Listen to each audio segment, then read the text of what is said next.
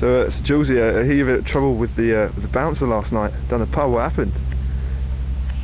I just wanted to drink in solitude, man.